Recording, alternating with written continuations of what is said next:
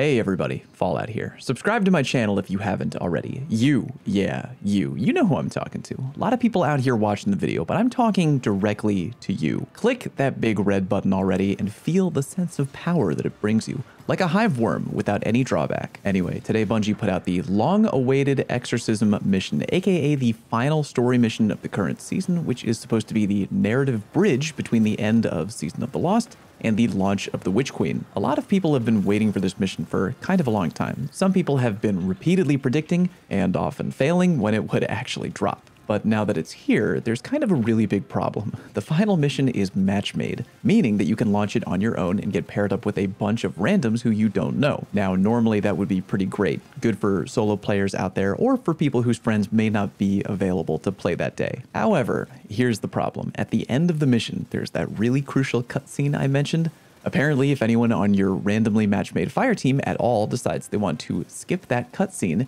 it will skip that cutscene for the entire party. So if you're interested in that final pre-Witch Queen scene, whoops, one bad apple can kind of F it up for everybody, apparently. Clearly a mistake on Bungie's part. I'm sure they didn't do that one intentionally, but uh, yeah, still kind of bad. Actually, it's especially bad because if you skip that cutscene, then uh, your quest doesn't progress. You literally need to watch that cutscene in order for that quest to complete. Bungie has also mentioned on Twitter that if you move too quickly during the bridge portion of the encounter, it can F up the mission, and they're also flat out asking people to to please don't skip the cutscene. It's all just a wonderfully delightful mess, and of course it would happen before a major expansion. I must have gotten really lucky because I did it right at reset today and everything went fine. For now, keep your eyeballs peeled to Bungie Help on Twitter. Hopefully they'll get everything straightened out between now and next week. In the meantime, if you want to watch the cutscene, do one of the following things. One, go on to LFG and find a group of people who know that the party and playing condition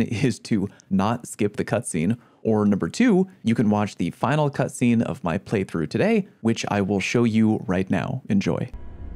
Oh boy. Here we go.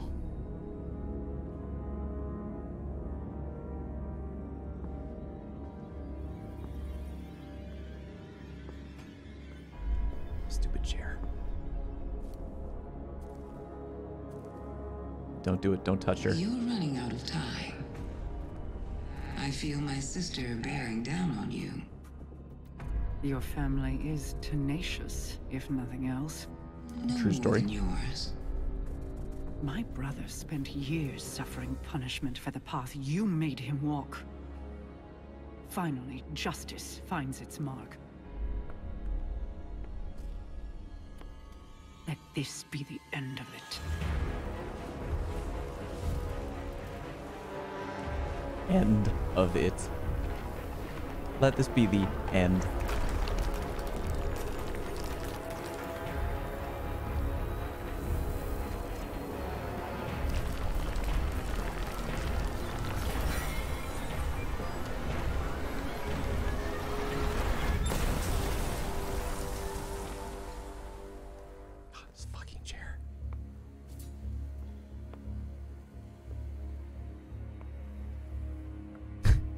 Yeah, I'm sure that knife will protect you.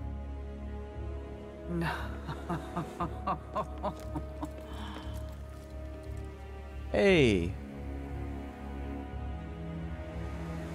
Thank you. Oh boy.